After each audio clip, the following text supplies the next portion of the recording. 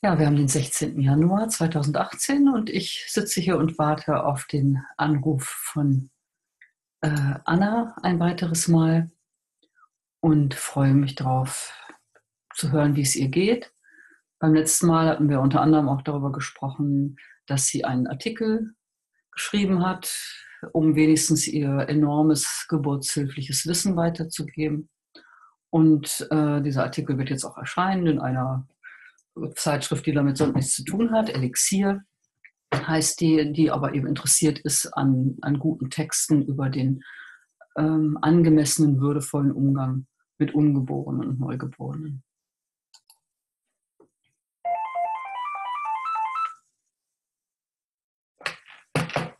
So, hallo, Anna. Hallo. Grüße dich, Anna. Es ist Mittwochnachmittag, äh, nee, stimmt gar nicht. Es ist schon kurz vor sieben. Wie geht es dir? Wo warst du heute? Was hast du gemacht? Ach du, ich befinde mich seit längerer Zeit in einer ziemlichen Depression, merke ich so. Ich habe wenig Lust auf irgendwelche hier sich ergebenden Kontakte.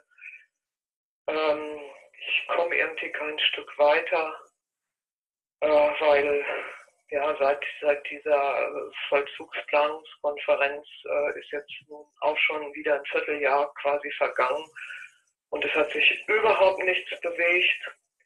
Also es sieht wirklich so aus, ähm, die gehen nicht nach den äh, großartigen Schwierigkeiten, die mich noch zusätzlich treffen und meine Angehörigen, sondern sie gehen einfach stillschweigend nur von der Länge der Strafe aus.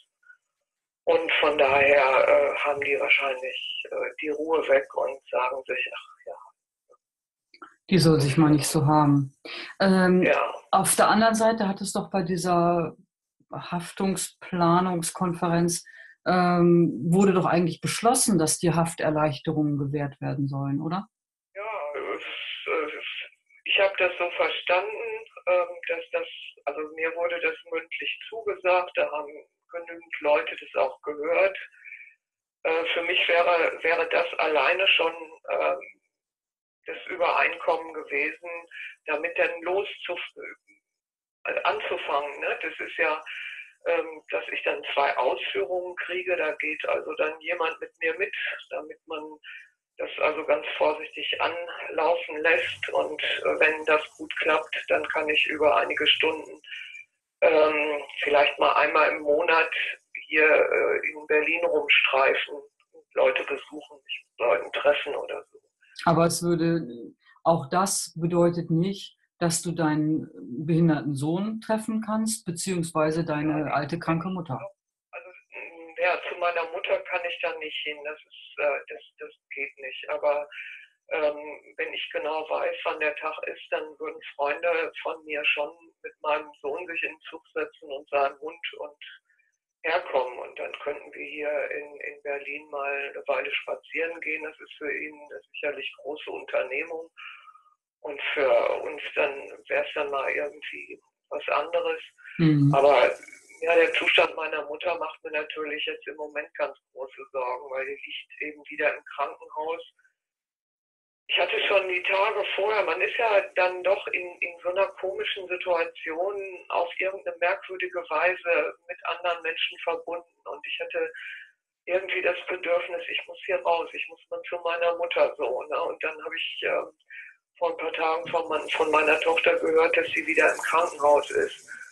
Die muss also ähm, irgendwie beim Essen plötzlich, weiß ich was, so eine, eine Art Durchgangssyndrom entwickelt haben Sie hätte nur noch geschrien, so krampfartig. Man hätte das als Schmerzensschreie äh, interpretiert und da hat sie dann ins Krankenhaus gefahren und ja, sie ist nun irgendwo dann auch zusätzlich sehr verwirrt scheint, mhm. hat meiner Tochter heute eben berichtet von ähm, ihren Schwierigkeiten, die Wäsche zu machen und dabei liegt sie im Bett sie hat wohl mitgekriegt, dass sie nicht äh, in, in ihrem Zimmer im, im Altenheim ist.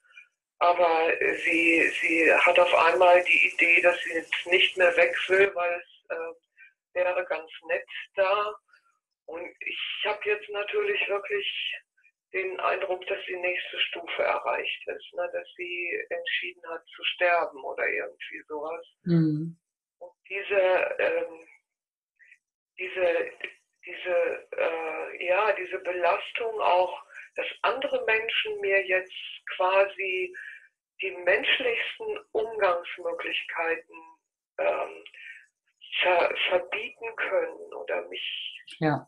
verhindern, das, das Normalste von der Welt zu tun. Ja, das finde ich so schwer zu ertragen. Also ich, mhm. ich glaube, ich könnte mit einem Wohnungsbrand umgehen und mit einer Flutwelle oder sonst irgendwas, weil da hast du immer den Eindruck, ja, okay, das ist jetzt Natur, dass, ja. dass sowas passiert, das ist eine Katastrophe, da müssen alle möglichen Leute mit umgehen.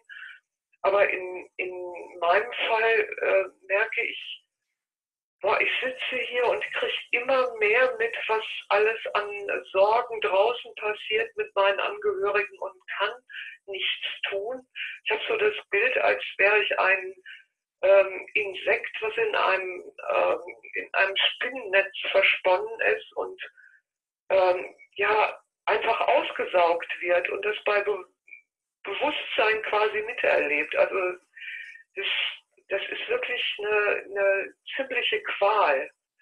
Ja, das kann ich mir gut vorstellen. Und, und ich merke auch, dass ich mir das früher nie klar gemacht habe oder nie überlegt habe dass, dass solche Situationen dann für jemanden, der inhaftiert ist, das ist ja unvorstellbar, wie du sagst, dass du eben die elementaren zwischenmenschlichen Interaktionen dir verwehrt sind, dass du deine eigene Mutter jetzt nicht aufsuchen kannst, wo sich ihr Leben eben wirklich dem Ende zuneigt. Und das ist, das, darüber wird auch nie geredet. Und ich habe den Eindruck, es ist eben in diesem Gefängnissystem auch ein total vereinzeltes Denken. Man sieht immer nur den Häftling oder, oder die Gefangene, aber dass, es, dass wir ja vernetzt sind als Menschen und, und in unser Leben in wachsenden Kreisen irgendwie leben, das, das kommt einfach nicht vor. Und, und das ist ja wirklich eine, eine unglaublich harte Strafe für dich sowohl als auch für, für deine Mutter, die nun überhaupt nichts dafür kann ne? und, und deinen Sohn. Meine Tochter geht in die Richtung Depression, ja. Also der, der Einzige, der sich irgendwie tapfer hält, ist mein Erstgeborener, der hat genügend Kraft und auch Eigensinn und, und auch ähm, ja, einen gesunden Egoismus. Der, der ist zwar mitfühlend mit der gesamten Situation, aber um den muss ich mir keine Sorgen machen. Ne? Mhm. Aber alle anderen, es wird alles schlimmer. Ich habe jetzt meine Wohnung hier in Moabit auch aufgeben müssen, einfach weil ich eingesehen habe, ja, ähm, der Zustand, auf den ich gewartet habe, dass ich diese Wohnung nutzen kann, dass ich äh, mit meinem Laptop ans Internet komme, dass ich arbeiten kann, ähm, wenigstens so, so ein paar Stunden dann, um Lektorat äh, zu machen oder sonst was. Das spielt ja alles keine Rolle, weil das, das sind alles so ähm, Außergewöhnlichkeiten. Und ich merke auch die Leute, die hier arbeiten und zu denen ich durchaus Vertrauen habe und die ich auch sympathisch finde zum Teil, denen tut das auch leid. Das, mhm. Sie kriegen das ja mit. Ich, ich äh, kommuniziere ja dieses immer größer werdende Unglück. Ähm, und äh, es kommt aber immer so in, in diese Richtung, in der, der ich auch sitze, sie können halt auch nichts tun und immer wieder kommt, ja, wir dürfen ja das Urteil nicht irgendwie äh, aushöhlen oder kritisieren oder was auch immer. Also du hast hier mit, mit so einem Gebot zu tun, das über den zehn Geboten steht offensichtlich. Ja, also Leute, die so programmiert sind, dass es nur noch darum geht, egal was für Kollateralschäden passieren, dass diese Strafe ähm, ja durchgezogen wird. Und äh, wenn du dann überlegst, ich weiß wirklich nicht, wofür ich bestraft werde, ähm, das, das ist alles ähm, eine Situation, äh, wo ich merke, das geht in Richtung Folter. Das ist, das mhm. ist das ist eine weiße Folter, eine, die du nicht siehst, die hat nichts mit Streckbänken oder sonst was zu tun, aber ähm, du wirst hier in der Perspektivlosigkeit gehalten und du musst aushalten, dass es deinen Angehörigen immer schlechter geht und du kannst nichts tun. Und das, das, äh, das ist für mich tatsächlich tagtäglich erlebte Folter. Und das mhm. macht man sich, glaube ich, draußen überhaupt nicht klar. Und ich habe mir das auch früher nie klar gemacht. Ja. Bequemlichkeit halber sagt man dann immer, ja, man muss ja eben Gefängnisse haben für die ganz bösen Verbrecher, die sonst ähm, die Gemeinschaft äh, abknallen oder sonst was. Aber wer sich hier im Frauenknast mal umguckt, wird kaum jemanden finden, auf, auf den eine Gefährlichkeit zuträfe. Ja? ja? Das sind irgendwie, das, das sind ja äh, massenweise Frauenschicksale, die ja, die, die beschädigt werden, nochmal zusätzlich durch diesen Aufenthalt hier. Ob da ein Lerneffekt bei der einen oder anderen passiert, das weiß ich beileibe nicht. Ich bin ja auch hier in der Form vereinzelt, als, als dass ich hier eine der wenigen Deutschen bin und, und äh, auch noch eine der ganz wenigen Akademikerinnen. Mhm. Ähm, also, ne, das, sind alles andere Leute um mich herum, die bilden auch andere Gemeinschaften, die kochen zusammen, die versuchen hier das Beste noch aus dem Dasein zu machen. Und ähm, für mich ist diese, diese Last auch, diese Strafe, diese Länge auch und diese Sinnlosigkeit zu er, ertragen zu müssen, etwas, was, was mich echt Kraft kostet. Ja, das glaube ich. Das ist ja auch ein, eine, eine Dimension von, ja, von Verlust der, der, deiner Eigenwirksamkeit einfach und deiner Tatkraft, ne? dass du einfach nicht mehr handlungsfähig bist. Und im Grunde ich merke auch, im Grunde denke ich ja auch jetzt erst drüber nach, wo ich eben mit, mit, das mit dir hier erlebe, wie unklar dieses ganze Konzept überhaupt ist, dass es einerseits man sagt, ja, Gefängnisse müssen ja sein, äh, äh damit die Leute äh, nicht auf der Straße äh, mit der Axt die anderen Leute anfallen oder so, ja. Und du sagst zu Recht, also von wem hier bitteschön in diesem ganzen Frauengefängnis geht denn eine solche Gefahr aus? Und zum anderen wird ja aber aus dieser Handhabe, das, was du vorhin gesagt hast, äh, ja, wir dürfen ja jetzt nicht das Urteil aushöhlen. Und das, das, dahinter steckt ja der Gedanke, so, Strafe muss sein. Und weil es eine Strafe ist, muss es eben möglichst wehtun.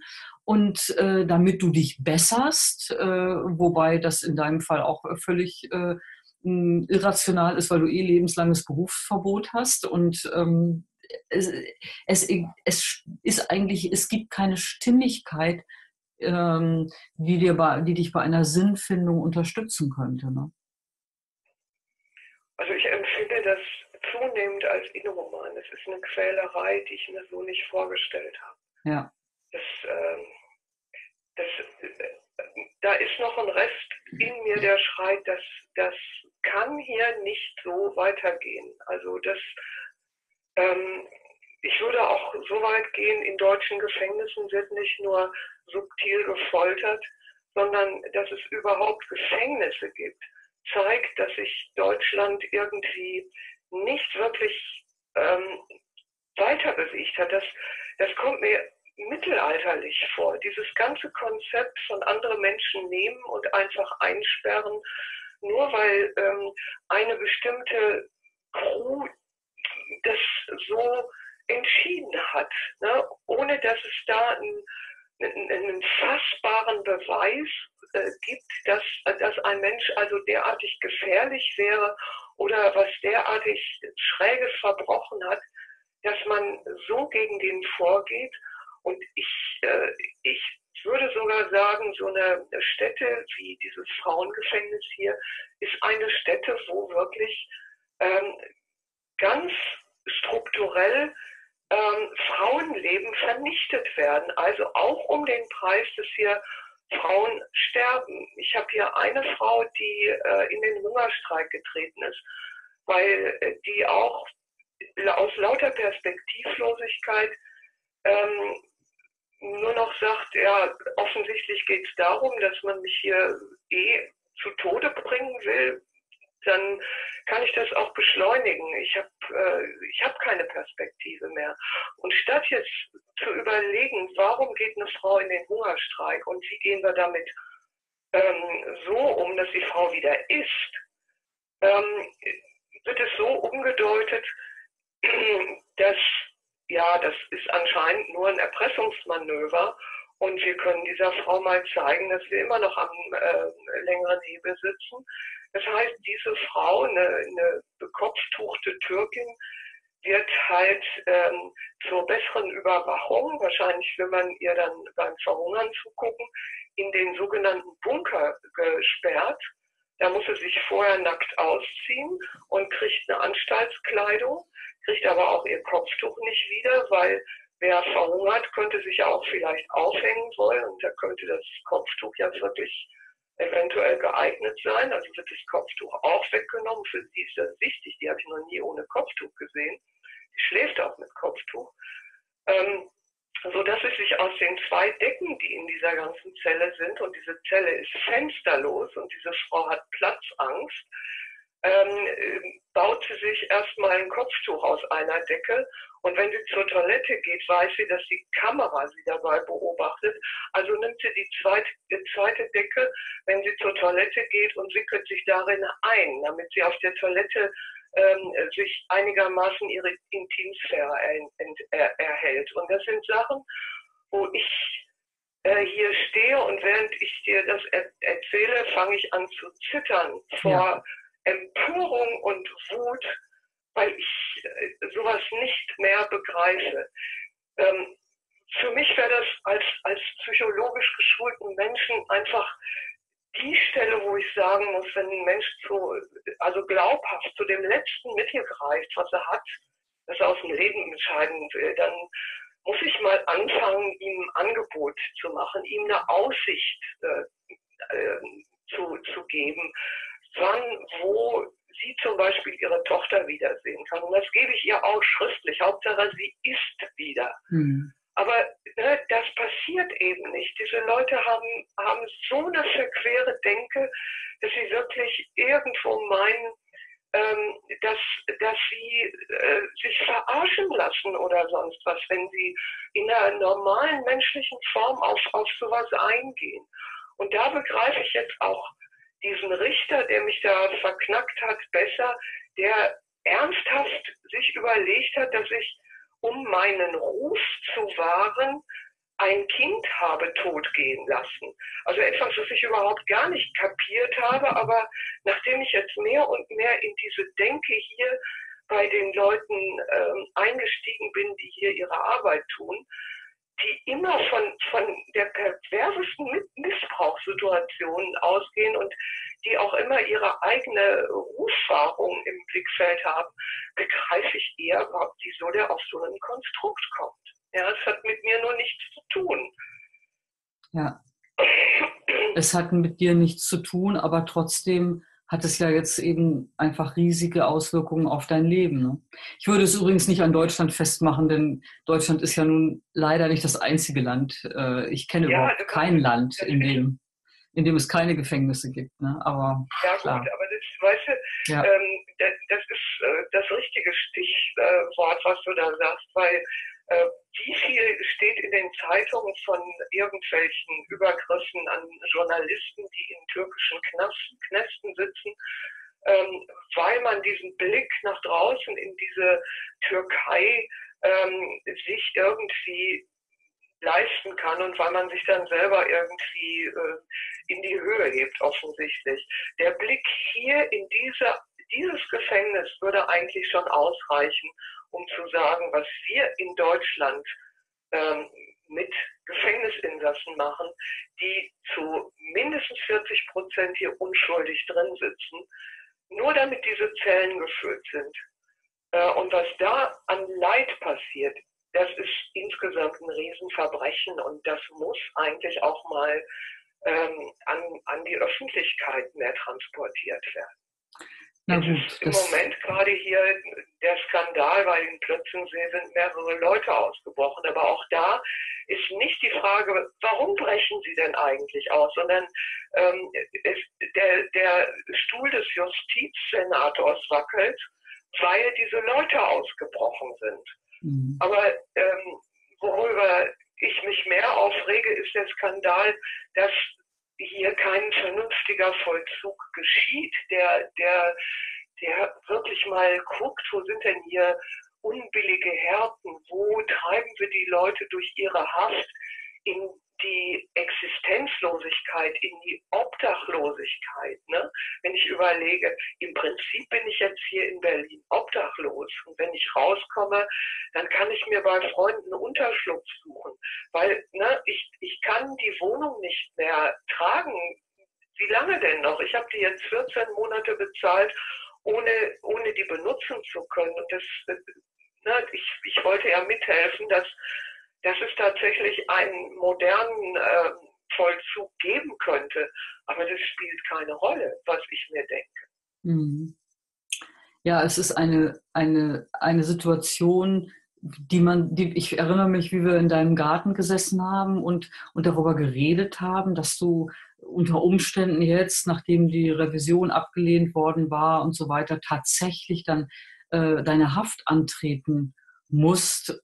Und das hat man sich einfach nicht ausmalen können damals, dass du sie nicht nur wirklich antreten musst, sondern dass sie offensichtlich knallhart durchgezogen wird mit allen Schikanen. Ähm, sagen wir mal so, wenn du jetzt Steuern hinterzogen hättest, würde es dir unter Umständen besser ergehen und du hättest irgendwelche Hafterleichterungen, weil man das hohen Managern offenbar nicht so antun kann, äh, wie man es äh, dir antun kann. Aber es ist einfach schon für mich auch eine, eine ganz beklemmende Situation, jetzt akzeptieren zu müssen oder zu sollen, ja, dass du da jetzt festsitzt und irgendwie offensichtlich kann man das einfach so machen. Ja, also für mich sieht es tatsächlich so aus, dass neben der Ruf äh, Mordgeschichte, die mit mir passiert ist und dem finanziellen Ruin und der Enteignung ähm, von meinen Berufen äh, jetzt noch die letzte äh, Strecke zurückgelegt wird, nämlich die gesundheitliche Vernichtung. Ne, das, also das, das ist ähm, im Grunde, wenn du so willst, ein zumindest mal fahrlässiger Tötungsversuch, was hier abläuft. Und das, ähm, das kann man mit mir machen, weil ich offensichtlich ähm, seit einer ganzen Zeit rechtlos bin. Denn ähm, das Prinzip, was da vor Gericht äh, mit mir äh, durchgezogen worden ist, ist ja nicht so, dass ich sagen könnte, dass äh, das hält einer Rechtsstaatlichkeit, so wie ich sie verstehe, stand, sondern es war eine Farce. Ja, und äh, ich kann nicht sagen, dass ich Gehör gefunden habe vor Gericht, weil meine Argumente, die ich vorgebracht habe, meine Dokumentation, all das, das wurde ja nach Belieben als Lüge ausgelegt. Und, und das heißt, ich habe kein Gehör bekommen. Und dieser, im Grunde wird an mir ein Verbrechen durchgezogen. So. Ne? Aber da ist niemand da, der jetzt hier korrigierend eingreifen könnte. Und ich bin die Letzte, die jetzt dieses selbe System, was mich ja verurteilt hat und mit dem ich die Erfahrung gemacht habe, dass es nicht so funktioniert, wie, wie, wie es meinem Denken, meinem Fühlen, meiner Logik entspricht, dass ich das nochmal einschalten würde, um jetzt ähm, hier für mich oder für andere eine Verbesserung zu erreichen. Ich weiß, dass es nicht funktioniert. Ich bin hier wirklich ausgeliefert und das ist ein ganz mieses Gefühl. Und ich verstehe jeden, der, der äh, abstreiten möchte, dass sowas überhaupt äh, in Deutschland passiert, in Knästen und vor Gericht. Naja, im Grunde, die, die Qual für dich steckt ja in den Umständen. Es ist, ist, ja niemand, der jetzt aktiv sozusagen da noch extra die Daumenschrauben dreht, sondern einfach, dein Sohn kann dich nicht sehen, deiner Mutter geht's schlecht und du kannst deine Funktion als sozial kompetentes, verbundenes Wesen, die du dein Leben lang hattest und, und deine, deine Position in deiner Familie, der kannst du nicht gerecht werden. weil du, ja. um dich zu sozialisieren, von allen deinen Lieben äh, getrennt worden bist. Anna, denkst du jetzt im Nachhinein, dass es unter Umständen doch besser gewesen wäre, was weiß ich, nach Südamerika zu fliehen oder so? Wir hatten das Nein, ja schon. Das, das ja. kam ja überhaupt nicht in Frage, weißt du, weil äh, aus Südamerika kann ich mich auch nicht äh, um, um meine, meine Angehörigen kümmern. Ja, aber ähm, der Zustand, der jetzt existiert, ich hätte den gleichen Zustand. Ich, ich könnte mich nur ein bisschen freier bewegen und vielleicht wäre in einigen Aspekten das Leben äh, irgendwo anders lustiger. Andererseits, nein, es kommt einfach, ist überhaupt nicht in Frage. Ich habe meine ganzen Freunde hier und ich bin hier verwurzelt. Weißt du, es mhm. mag ja auch noch dazu kommen, dass ich im Grunde selber ein, ein Kind von Flüchtlingen bin, ja, äh, und dieses Trauma irgendwie ein Stück weit in mir trage. Ja, dass meine Eltern aus ihrer Heimat fliehen mussten, das, das haben sie schon ziemlich stark äh, äh, kommuniziert und das, das, das ist ziemlich in mir drin. Deshalb war es ja auch für mich wichtig, äh, ja, dieses, dieses, äh, diese Wohnung zu kaufen da in, im, im Ruhrgebiet und irgendwas zu haben, was man mir nicht wegnehmen kann. Ja, ne, das, äh, das ist alles irgendwie nichts bedeutet, dass man mich sehr wohl enteignen kann, dass man mich nehmen kann und irgendeine Stelle packt, wo, wo ich nicht hingehöre.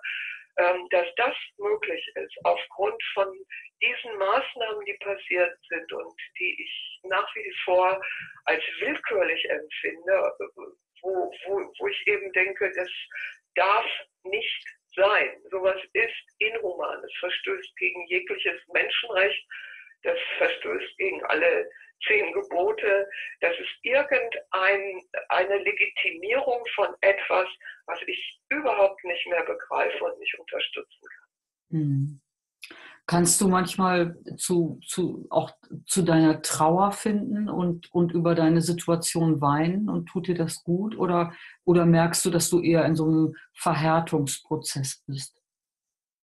Also ich bin eher ähm, in, in so einer Art Betäubung wieder. Mhm. Ja, ich hatte eine Phase, da flossen die Tränen leichter, aber ich bin jetzt im Moment durch diese neuerlichen Umstände, Verlust der Wohnung, Sorge um die Mutter, die ich vielleicht nie mehr lebend wiedersehe, äh, das, das sind so endgültige äh, Sachen für mich, die, äh, die sind einfach äh, ein Stück zu hart. Da merke ich, ich, ähm, ich klinge mich da irgendwo aus. Ja. Ne? Ich, äh, mhm verziehe mich äh, in so eine Art Wolke.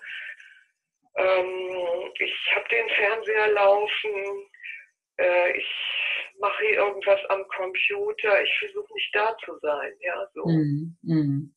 Ja. Ab und an äh, kommen hier eben Leute, so wie gestern, da gibt es eben so ja, Gesellschaften, die sich von außen äh, mit wirklich netten Leuten um Inhaftierte kümmern da rede ich dann mal eine Stunde mit, mit jemandem, der ich auch Vertrauen habe.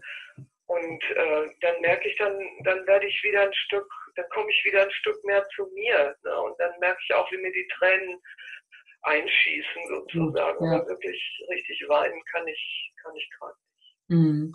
Nein, das kann ich auch verstehen. Irgendwann schaltet das Gehirn dann auch in, im Betäubungsmodus. Ne? Kriegst du denn noch viel Post und, und Besuchsanfragen oder ist das eher, hat sich das eher verdünnt? Post ist, Post ist äh, gut und äh, die Besuche sind auch ausgebucht sozusagen. Meine Termine sind immer vergeben. Sag nochmal, wie, wie viel du darfst im Monat? Ich habe es wieder vergessen. Vier Stunden im Monat.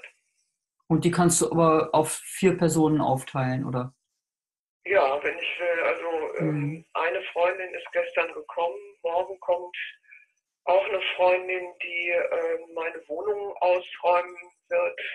Die wird mit einer anderen Frau zusammen das äh, leer räumen und dann die Kisten bei sich unterstellen.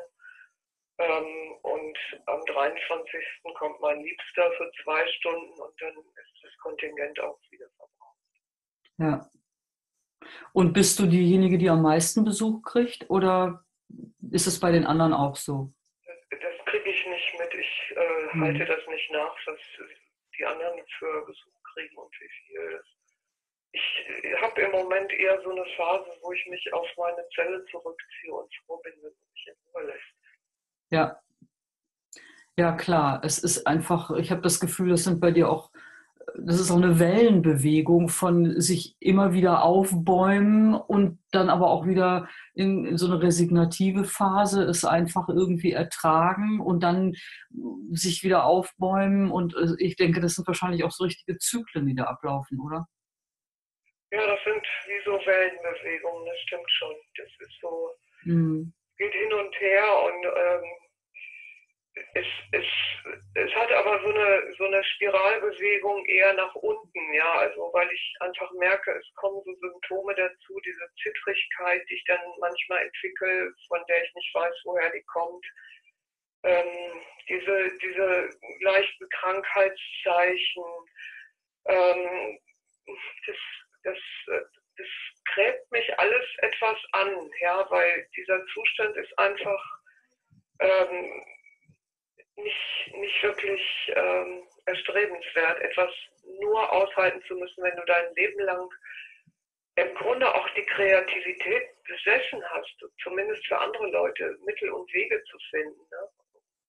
irgendwie ja. zu, zu einer Verbesserung beizutragen. Und hier merke ich einfach immer nur, ja, ich erreiche ein paar von den Leuten, die hier arbeiten und es tut ihnen auch wirklich leid, dass ich hier gequält werde sozusagen.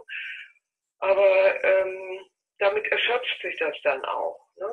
Mhm. Und, und alle sind quasi in so einer Hilflosigkeit. Die einen, weil sie es beruflich so gewählt haben und sich selber ähm, mit diesem Programm quasi einverstanden erklären. Das erinnert mich so an dieses Milgram-Projekt ähm, ja. da. Ja. Ne? Ja. Und ähm, die anderen, die einfach wirklich machtlos gehalten werden. Ne? Diese, das, äh, ich habe zumindest jetzt aber mal vom, äh, vom Senat ein Schreiben, dass man meine Briefe zumindest gekriegt hat. Und ja. Das Milram-Projekt war ja das, wo, wo Leute äh, dazu veranlasst wurden, durch jemanden im weißen Kittel einer anderen Person Schmerzen zuzufügen. Und es wurde gesagt, ja, die hat das verdient und das tut ja gut und das muss sein und so. Und, und die meisten waren dann äh, ließen sich so weit treiben, ähm, obwohl sie furchtbare Schmerzensschreie hörten und dann irgendwann sogar ein Verstummen und so, dass sie immer weitermachten, einfach nur weil eine Autorität, in dem Fall ein Herr im weißen Kittel, ihnen versicherte, das sei richtig, was sie täten. Ne? Das meinst du doch. Das wird, genau, das wird, wird ja. halt umgedeutet. Ne? Das wird nicht Folter genannt, sondern das ist eben die Hilfe zur Besserung. Ne? Und das ist genau das, was hier auch stattfindet. Nur sind diese Maßnahmen nicht so körperlich äh, mhm. Ja. äh, angewendet, sondern die gehen auf den Geist, die gehen auf die Psyche. Und dieses ja. ewige Warten, wie jetzt auch an diesem Beispiel, mir wird etwas in Aussicht gestellt, was so eine homöopathische Idee von der Erleichterung und von einem Schritt in äh, eine andere Richtung ne, mit mehr Möglichkeiten eröffnet. Äh, und es ist, es ist jetzt schon mal ein Vierteljahr wieder vorbei, ohne dass ich da irgendetwas verwirklicht hätte. Und ich merke eben auch, ob ich da jetzt noch nachhake oder ob ich mich still verhalte. Es liegt nicht in meiner Kraft, es irgendwie groß zu ändern ähm, sondern das Konzept ist offensichtlich Ermüdung oder Zermürbung und das sind auch ganz bekannte Folterprinzipien. Es ist mir nur nicht klar, ob es den Leuten, die diese Prinzipien anwenden, eigentlich tatsächlich klar ist, was sie tun. Ich glaube nicht, Anna. Ich, also das ist mein ganz klares Gefühl, dass es und das ist im Grunde macht die Sache ja, also man kann sich darüber streiten, ob es die Sache besser macht oder ob es sie noch schlimmer macht es ist noch nicht mal Absicht. Ja? Ich glaube nicht, dass da irgendeine eine böse Verschwörung sagt, ja, die Anna Röckelonhaft, die machen wir jetzt mal fertig. Und, und da wird sie schon sehen, was sie davon hat, sich gegen die Apparatemedizin zu wenden. Glaube ich ehrlich gesagt überhaupt nicht, sondern es ist der ganz normale, abgestumpfte Wahnsinn. Und ich hatte gerade in den letzten Tagen ein Erlebnis, wo du jetzt sagst, eben, ja, du siehst die Leute, die dich betreuen, du, die sehen schon, dass das sehr hart ist für dich alles, die ganze Situation. Es tut ihnen auch leid.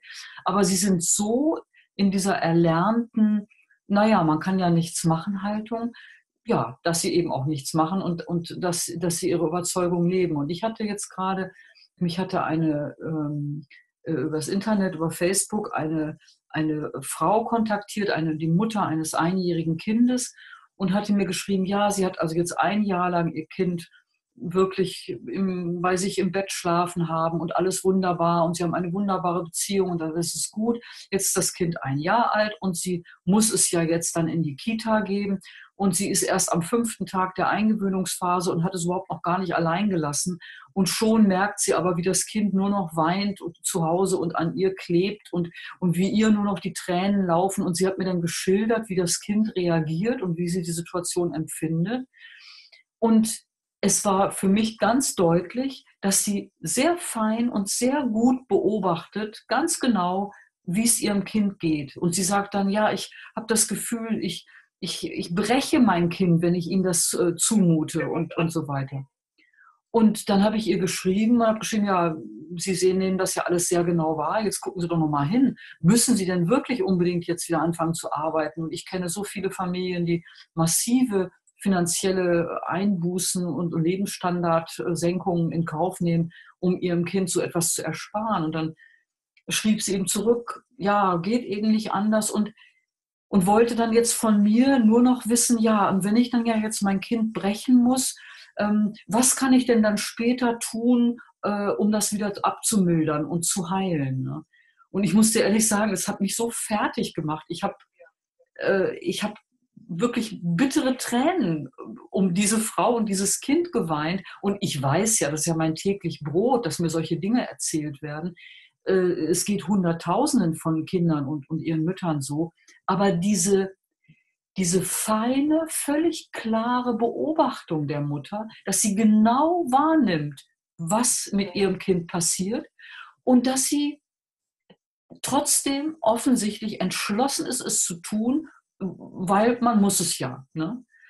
Oh, das hat mich einfach fertig gemacht und daran erinnert mich das jetzt mit dir auch. Das, das sofort an die Situation, wenn Frauen sich entscheiden, sich mit einer Nadel in den schwangeren Bauch stechen zu lassen. Ja. Ja? Genau, Amniosynthese also, ne? meinst du. Hm. Ja, genau. Ne? Also ähm, da, da werden die Prioritäten anders gesetzt. Also ich, ich finde mehr künstlich.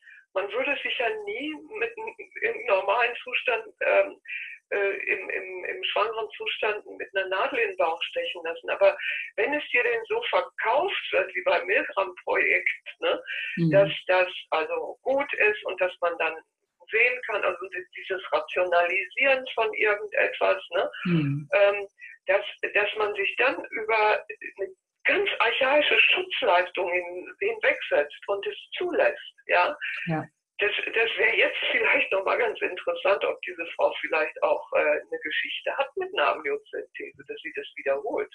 Das glaube ich gar nicht. Ich glaube, die hat einfach eine Biografie, in der immer klar war, dass nicht sie selber der Verantwortungsträger für, für ihr Sein ist und für ihre Entscheidungen und für ihr Leben. Und das ist natürlich auch ein Unterschied, Anna. Ähm, für dich ist es auch deswegen, glaube ich, so besonders hart, weil du ja vorher eine sehr weitgehende Freiheit gelebt hast und dich verwirklicht hast und deine Visionen und dich für das eingesetzt hast, wovon du überzeugt bist und eben für die Änderung. Und für dich ist sozusagen der Unterschied zwischen ja, Käfig und Freiheit viel größer als für jemanden, äh, der von seiner Freiheit nie im Sinne von, dass er mal rumgeflogen ist, Gebrauch gemacht hat. Ne? Ja, und das andere kommt dazu, das soziale Umfeld agiert ja auch in einer Weise, ähm, wo ich im Grunde genommen äh, nur staunen kann, ne? weil äh, diese, diese Form von Verleugnung oder Obrigkeitshörigkeit, die lehne ich ja ab. Das ist mir ja quasi schon in, in Kindertagen von der Schule zumindest beigebracht worden, ne, dass wir als ähm, verantwortliche, kritische Bürger äh, alles überprüfen und, und kritisch sehen sollten, was uns da so begegnet und vor allen Dingen, was uns etwas abnötigt, was gegen unser Gefühl geht. Ja, dass, man, dass man das überprüft. Und ich habe hier mit lauter Leuten zu tun, die einen Weg gefunden haben, ähm, an einer bestimmten Stelle eine Grenze zu ziehen und zu sagen, es tut mir alles leid, aber das ist hier nun mal so. Oder wir können ja ähm, uns nicht über, über das Urteil hinwegsetzen oder wir sind weisungsbefugt oder wir müssen das tun. Die sagen nie, ich entscheide mich, das jetzt zu tun. Ich mag das auch nicht gerne, aber ich will meinen Job behalten. So, so drücken die sich nicht aus. Die haben wirklich diese archaischen Momente des Müssens in eine ganz andere Kategorie verpflanzt. Also ich muss essen und ich muss auch atmen und ich muss auch Kontakt haben und ich muss auch ähm, schlafen. Ne? So. Mhm. Ähm, alles andere sind Sachen, zu denen ich mich bewusst entscheiden kann. Ja, und ich habe hier mit, mit äh, ja, einer Mehrzahl von Menschen zu tun, ich glaube fast alle, die, die, ja, die ein anderes äh, Verständnis von, von äh, müssen haben. Ja? Die können dem, dem müssen, was, was für mich künstlich aufgepfropft ist, weniger entgehen, als ähm, aufs Essen zu verzichten beispielsweise. Ja, ganz genau. Und das genau. ist für mich eben, ne, diese mhm. Umgebung, die, die ist eben aus mehrererlei Hinsicht für mich so, dass, dass ich mich ein Stück weit äh, isoliert fühle. Natürlich, weil du eben nicht nur selber in, deiner, in deinem Selbstausdruck und deiner, deiner Handlungsfähigkeit beschränkt bist, sondern weil du lauter Leute erlebst, die sozusagen sich freiwillig darin beschränken lassen. Das erinnert mich jetzt ganz stark äh, an das Buch und den Film, äh, kennst du äh, vermutlich, Einer flog übers Kuckucksnest, wo ja dann dieser, dieser äh, Typ, der eigentlich im Gefängnis ist oder in so einem Lager und sich dann eben mh, hm, in die Psychiatrie äh, versetzen lässt sozusagen, weil er sich da mal Erleichterungen erhofft. Und er muss aber da sein. Äh, er ist eben wirklich ein Gefangener. Und im Grunde ein, ein zentraler Wendepunkt in diesem Film ist, als er auf einmal, er fängt dann an, sich für die anderen äh, äh ja, Patienten in, in, auf dieser Psychiatriestation einzusetzen. Und dann wird irgendwann deutlich, die anderen sind alle freiwillig da. Er ist der Einzige, der zwangseingewiesen ist und da sein muss. Und alle anderen mhm. könnten morgen nach Hause gehen, wenn sie sich so entscheiden würden. Aber sie, sie sind sozusagen in einer inneren Unfreiheit und können sich nicht so entscheiden, weil sie halt äh, innerlich so geknechtet sind. Und und das ist, glaube ich, trägt auch zu deiner, zu, zu, der Qual deines Zustandes und deiner Befindlichkeit bei, dass du dir lauter Leute angucken musst, die im Gegensatz zu dir eine Freiheit hätten, aber sie nicht nutzen. Und du hast die innere Freiheit, aber tja, da hat man jetzt bei dir von außen den Riegel vorgeschoben. Ne? Es ist so ein bisschen wie mit ah. dem kleinen Elefanten, dem der eine Fessel anlegt. Ja. Ne? Ganz genau. Und der damit groß wird äh, und den du als großen Elefanten dann an ein winziges Bäumchen binden kannst. Und äh, sobald er diese Fessel spürt, weiß er, dass er sich nicht mehr bewegen kann. Und das macht er dann auch nicht. Ne? Das ist, ja. äh, das ist ganz, ganz genau. Ja. Und du bist eben jemand, der ohne diese Fessel oder der diese Fesseln überwunden hat oder gelernt hat, seine Kraft zu benutzen und genau deswegen hat man dir jetzt, dich hat man jetzt wirklich mit einer Eisenkette an einen dicken Baum gebunden. Ne? Und da nützen dir deine ganzen Elefantenkräfte im Äußeren nicht. Ich habe aber die Hoffnung, Anna, dass du es gerade aus dieser Erkenntnis heraus, wie viel System und Struktur dahinter sitzt, und zwar keine individuelle Bosheit oder so, sondern ja, lauter, lauter Elefanten, die gelernt haben, äh, dass man sie mit einem kleinen Bambus an ein kleines Bäumchen binden kann und sie können nicht weg. Ähm, dass du gerade weil du siehst, dass das diese strukturelle Gewalt ist, dass du einen Weg findest, dir sozusagen deine innere Kraft und deine innere Freudigkeit und Entschlossenheit, dein Leben selbst in dieser Situation nicht innerlich aus der Hand zu geben, ähm, dass du dir das erhältst und dass du diesen, dieses Ringen, was das natürlich fraglos bedeutet, äh, einfach fortsetzt und, und es sozusagen es dem System nicht gönnst. Ne? Das würde alles irgendwie, glaube ich, ganz gut funktionieren, wenn nicht dieser zusätzliche Druck ähm, ja. da wäre, der, der von außen äh, auf mich eindringt. Einfach mit deiner Mutter. Das, ne? Wenn ich mhm. das nicht hätte, ja, dann würde ich mich einfach ganz, ganz klar auf das, was ich letztes Mal schon gesagt habe, hier mit Menschen in menschlichen Kontakt zu gehen und als nächstes mir eben nochmal jemanden zu suchen, der tatsächlich was bewegen kann, der in, in diesem Räderwerk an der Stelle sitzt, wo er ähm, selber entscheiden kann, in welche Richtung gedreht wird. Und deshalb ist ja auch mein Bestreben nach wie vor, ich möchte mit dem Justizsenator reden. Äh, man, ich weiß nicht, manche Leute halten mich hier wahrscheinlich für völlig abgedreht, äh, aber mir kommt das wie das Normalste der Welt vor. Ich, weißt du, ich fühle mich hier wie ein, wie ein Fremdkörper, ähm, aber ich kann es nutzen, um System zu analysieren und eine Rückmeldung zu geben. Und ich bin an jeder Stelle, wo ich war, immer bereit gewesen, äh, die Strukturen so zu verbessern, dass es auch was Menschlicheres wird. Und äh, deshalb bin ich so immer noch der Überzeugung, es wird mir gelingen, mit diesem äh, Justizsenator in Kontakt zu kommen und den zu ermutigen, dass dieses durchaus gut klingende Vollzugsgesetz tatsächlich mal hier in der Frauenhaftanstalt Pankow, äh, die ja übersichtlich ist, mal durchzusetzen. Ja, da habe ich einfach immer noch, das ist, das ist die einzige Hoffnung, die ich habe. Hm.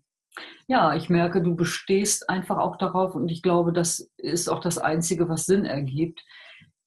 Wer Entscheidungen trifft und wer etwas ändern kann, sind immer noch die einzelnen Menschen. Natürlich ja. sind sehr viele stark eingelullt in den angeblichen Zwängen des Systems, aber das ist ja eine Illusion. Oder haben keine Führungsqualitäten, weißt du, ja. das ist ja eben auch das hm. Problem wir haben hier eine weibliche Führung, die ist sehr nett, aber es ist eben auch was, was ich gut kenne, dass Frauen in Führungspositionen nicht gerade die Tendenz haben, über den Tellerrand zu gehen und mal zu gucken, ob man die Grenzen nicht mal ein bisschen weitermacht. Das, das ist ähm, selten. Und da ähm, habe ich mir so ausgedacht, müsste, müsste mal vielleicht ein Mann her, der genau diesen Frauen den Rücken stärkt vernünftige Sachen zu tun, dass es hier wirklich ähm, menschlicher zugeht und dass man genauer guckt, mit wem man was tut und was man, was man an unbilliger Härte damit vielleicht auch vermeidet. Ja, ja. Ja, klar. Ich, ich denke, das ist auch ein, ein Reflex von Frauen, wenn sie äh, Positionen innehaben, in denen sie sich dann sozusagen als die besseren Männer beweisen zu müssen mhm. meinen und, und bloß nicht die Regeln in Frage stellen und äh, äh, sozusagen, äh, ne, sondern zeigen, ich, obwohl ich eine Frau bin, ich kann auch. Ne? Ja, das ist dann leider so ein, ein Reflex, weil natürlich auch gerade das, die menschlichen Gefühle und, und der Zugang zu Empathie und so weiter ähm, ja etwas ist, was, was in unserer Gesellschaft im Moment nicht so einen hohen Stellenwert hat, sondern wenn ich die Jugendlichen angucke, was die Ziele sind, die wollen alle cool sein. Und cool ist ja genau das Gegenteil von, von warm und weich und empathisch und ähm, und, und, und, und das, das sind im Grunde, werden solche Leute ja eher als äh, Warmduscher, Schattenparker, Gutmenschen und äh, Frauenversteher. Das sind ja gängige ironische äh, Schimpfworte sozusagen oder Abwertungen. Ähm, ja, genau. Ach, Anna, es ist irgendwie so deutlich zu merken, wie schwer es ist, wenn man, wenn man, wenn man so viel Kraft hat wie du. Ähm, ich muss an, gerade an das Gedicht von Panther denken, von Rilke. Irgendwie dieser große Wille, der irgendwie, tja, gedreht. Ich habe hier auch ein Bild zugemalt, ja. Ja, der sich um eine leere Mitte dreht, genau. Und das, äh, das nehme ich bei dir sehr deutlich wahr und ich denke unsere Zuhörer auch und, und jeder kann das nachvollziehen. Und ich glaube, du hast die Kraft, auch in, in dieser Ohnmachtssituation deinen Weg weiterzugehen und dich aus Fleiß nicht niederbringen zu lassen, denn ja, deiner Mutter nützt es nichts, wenn du jetzt verzweifelst. Ne? Das, ist, das ist, kommt ja noch dazu, es nützt ja nichts. Sondern das was Einzige, was was nützt, ist, wenn du, wenn du an dir dran bleibst und, und darauf beharrst, wie ein Mensch behandelt zu werden.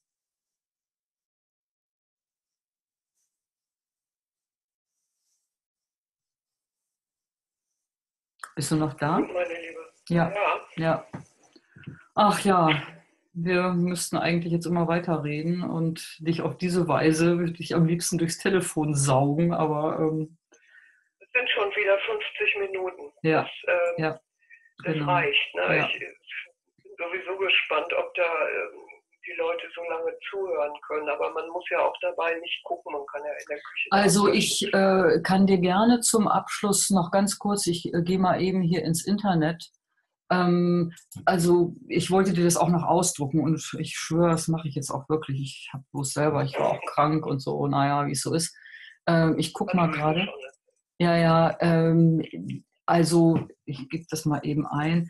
Ähm, da sind viele Kommentare die sehr, sehr deutlich machen, ähm, dass sie deine, deine Situation wirklich sehen. Moment, wo haben wir das denn? Vor sieben Monaten, vor drei Wochen, vor fünf Wochen. Genau, also das, was wir vor drei Monaten gemacht haben, das hat 2000 Aufrufe. Das, was wir vor sieben Monaten gemacht hatten, hat 2800 Aufrufe. Und das Neueste ist ja jetzt erst drei Wochen alt und da waren Ferien. Das ist jetzt noch nicht so, äh, so viel. Das sind 700 erst. Aber, also da schreibt jetzt eben jemand, sieben Jahre Haft ohne Bewährung. Nein, das darf doch nicht wahr sein. Wie kann das Urteil geändert werden? Dann schreibt äh, jemand anders, ich war wegen Verletzung der Vertraulichkeit des Wortes und einmal wegen verweigerter Vermögensauskunft nur wenige Tage in Gelsenkirchen in der LVA und war anschließend völlig krank. Es ist schlimm, sehr schlimm, aber es gibt Hoffnung. Dieses System löst sich auf und die Anna wird vorzeitig freikommen, ganz bestimmt. Niemals aufgeben, Smiley. Vielen Dank für den Upload. Ich finde die Gespräche immer sehr interessant. Und dann geht es um Helene und sein Honopopono, Traurigkeit geduldig durchfühlen und mich selbst trösten. Damit habe ich die Erfahrung gemacht, dass das sehr bereichernd ist. Ich fühle mich, fühlte mich danach emotional reifer und gefestigter. Ähm, dann, liebe Frau Rocke-Löhnhoff, ich finde Ihre Flex Reflexion sehr ergreifend. Bitte bleiben Sie bei sich und lassen sich nicht unterkriegen. Ich freue mich, dass Frau Neubronner zu Ihnen Kontakt hält, damit wir weiter auf diesem Wege von Ihnen hören können. Ich danke Ihnen für Ihre, äh, für Ihre Offenheit. Gucken wir mal noch mehr. Moment. Ähm, Genau, es ist einfach unerträglich zu wissen, dass man der Frau nach so viel Einsatz in ihrem Leben ihre Lebenszeit raubt. In diesem System kann man mit allem rechnen, nur nicht mit Gerechtigkeit oder ganz zu schweigen mit Menschlichkeit. Ich wünsche Frau Anna Rocke-Löhnhoff weiterhin viel Kraft.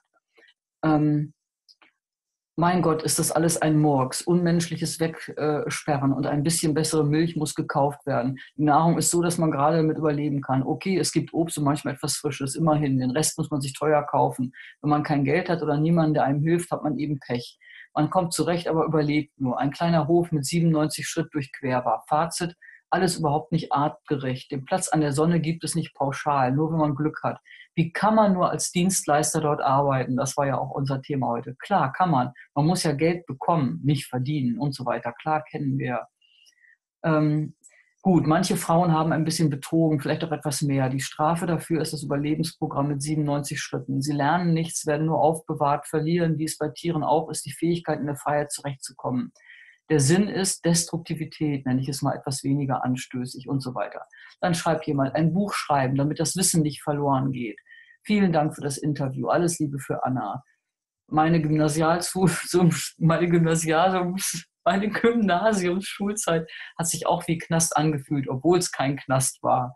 Ein Live-Gespräch aus dem Gefängnis, hm, mit Abhörung Und was ist, wenn es eine Totgeburt in einer offiziellen Klinik gibt? Es sollte doch bei jeglicher Geburt ein Risiko einer Totgeburt betrachtet werden. Gibt es da eine Versicherung für die Hebammen oder die Ärzte aus den kommerziellen Geburtsstätten und so weiter? Bei Totschlag. Ja, ja. Bei Totschlag. Nicht bei Totschlag, genau.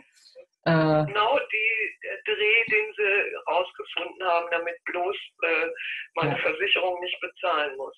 Ja, mhm. genau. Ja. So, dann fragt noch jemand, oh, ein Computer wird den Gefangenen zugestanden. Wie soll das sehen? Wo kommen die Nutzerprogramme her? Oder ist das ein Standardcomputer, der vom Gefängnis gestellt wird? Wird dieser Computer vom Gefängnispersonal kontrolliert? Äh, sag was dazu, aber du hast ja keinen Internetzugang, was ja eigentlich das Entscheidende beim Computer ist. Ne? Ja, genau. Naja, gut, also es, es sind einfach viele solche Zuschriften und äh, und viele Leute, die, die das einfach ganz, ganz unerträglich finden. Äh, äh, was da passiert. Aber ähm, ja, ich kann es dir jetzt ja. nur vor, was für eine wirklich bittere Geschichte, unglaublich, was dieser Frau gerade passiert und passiert ist. Mich würde interessieren, was diese Menschen, die ihr das angetan haben, jetzt fühlen. Dann ein Herr, hier geht es nur darum, eine Geburtshelferin platt zu machen. Die Frauen sollen in Krankenhäuser gehen, damit die Säuglinge sofort mit Impfungen vergiftet und geschippt werden können und so weiter. Hat jemand von den Postern hier das Urteil vollständig gelesen? Naja, und so weiter. Es ist unglaublich, wie sie die Frau behandeln, einfach extrem ungerecht. Naja, und so und so und so. Ähm, sie ist eine starke Frau und Heldin. Wir Geburtshelfer helfen und morden nicht. Das System mordet und so weiter. Danke für die Veröffentlichung. Unglaublich, was hier gespielt wird. Mich erinnert das an das kommunistische Regime, weil es dort offensichtlicher ist. Tapferes Weib, zwei großartige Frauen. Jeden kann das betreffen. Das ist eine Warnung an uns alle. Tue nichts, was denen nicht gefällt. Sehr traurig, was da passiert. Liebe Frau Anna, ich wünsche Ihnen alles Gute und so weiter. Also du siehst, du erreichst wirklich sehr viele Menschen, aber es ist eben, ähm, ja, ja, helfen äh, kann nur wahrscheinlich wirklich, wenn du wenn du aus deiner Zelle heraus immer weiter dran bleibst und versuchst, die Menschen zu erreichen, die Entscheidungen treffen können. Ne? Liebe Anna, ich beende jetzt die Aufzeichnung und dann verabreden wir uns noch ganz kurz. Ist das okay? Okay, machen. Ja. Sag noch Tschüss zu den Zuhörern. Sag noch Tschüss. ja, danke. Okay.